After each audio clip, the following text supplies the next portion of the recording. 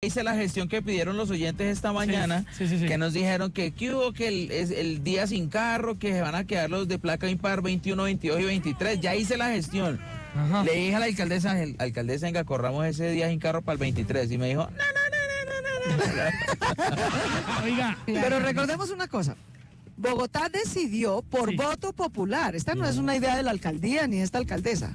Bogotá desde hace casi 20 años decidió por voto popular que un día al año ni salen los carros ni salen los motos para hacer pedagogía sobre el transporte limpio, la movilidad compartida y sostenible. El acuerdo mediante el cual se tiene que hacer ese día dice que es en febrero. Pero resulta que en febrero de este año estábamos en pico de la pandemia, teníamos que cuidarnos. Entonces decidimos trasladarla para septiembre. ¿Y por qué el 22 de septiembre? Porque el 22 de septiembre es el Día Mundial del No Carro. Muchas Ah, no es ciudades hacen usted cumple años ese día, porque está No, aniversario, El nada. que cumple nos dijo aquí es el papá de Braille. Braille. Sí, sí. Papá de Braille el que cumple día.